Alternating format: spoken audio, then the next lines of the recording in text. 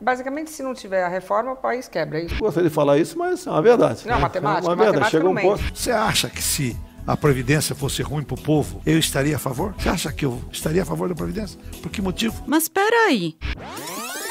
Por que o Ratinho e a Luciana Gimenez estão defendendo a reforma da Previdência? Agora, em 2019, a Luciana Gimenez ganha 500 mil reais por mês. O Ratinho, 3 milhões. Eles e outras cinco celebridades igualmente milionárias foram pagos para falar da sua aposentadoria. Só para se ter uma ideia, um trabalhador que ganha um salário mínimo levaria 250 anos para receber o que o Ratinho ganha em um mês. Será que essas pessoas são as mais indicadas para falar do que é melhor para você?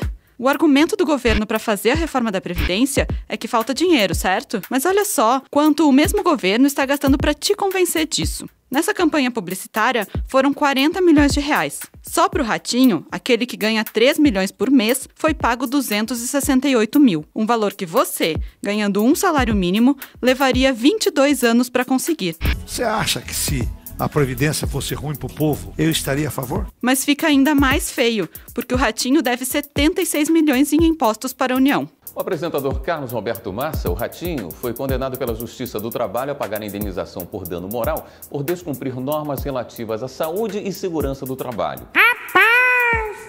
Um cidadão que já é milionário e ainda abocanha o nosso dinheiro. Também estão na lista Rodrigo Faro, com renda também de 3 milhões de reais, Milton Neves, com salário de 1 milhão e 300 mil, Datena, que ganha 1 milhão, Ana Hickman, com 700 mil, e Renata Alves, a mais humilde, com renda de 100 mil reais por mês. Só para lembrar, a Ana Hickman, por exemplo, é a dona dessa sala aqui.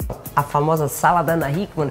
Vou mostrar hoje ela para vocês. Oito. São oito sofás. Temos três poltronas, duas luminárias bem diferentes.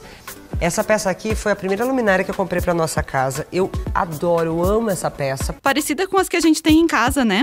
Mas, além disso, o governo liberou emendas parlamentares para convencer os deputados a votarem a favor da reforma. Só nelas foram gastos outros 4,3 bilhões de reais, um valor que bancaria a aposentadoria de 18 mil pessoas por 20 anos a um salário mínimo. Isso sem falar que, no ano em que a reforma da Previdência é a prioridade absoluta do governo, o investimento em publicidade nos canais de TV aumentou um monte. O gasto com publicidade no primeiro trimestre de 2019 cresceu 63%.